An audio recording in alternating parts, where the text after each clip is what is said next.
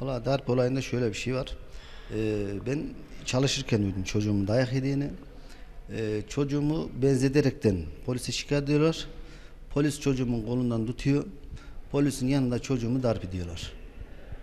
Bundan ötürü de biz e, o şahıstan davacıyız, şikayetçiyiz. Şu anda biz mağdurumuz. Çocuğum zor durumda. Burnu kırık, kafası yarık, kulağı şiş. Şu anda evde istirahat yapıyor. Çok şükür biraz düzelmeye başladı. Hafıza kaybı vardı, o yerine geldi. Hani biz davacıyız oradan. Peki karşı tarafla hiç konuşma imkanınız oldu mu? Hayır, konuşma imkanımız olmadı. Peki gelip sizden özür dileseler kabul eder misiniz? Hayır kabul etmeyim bu saatten sonra. Çünkü karşımızdaki şahısın bir öğretmen olduğunu öğrendiğimiz için bunu kabul ediyor. Eğer bir öğretmen bunu yapıyorsa dışarıdaki insanın ne yapacağını biz düşünemiyoruz. Bu saatten sonra bu öğretmene, bu insanlar, bu çocuklarını nasıl teslim edecekler ben onu merak ediyorum. Peki çocuğunuz ne dedi olaydan sonra? Çocuğum şoktaydı. Ee, çocuğuma bir iftira atıyorlar.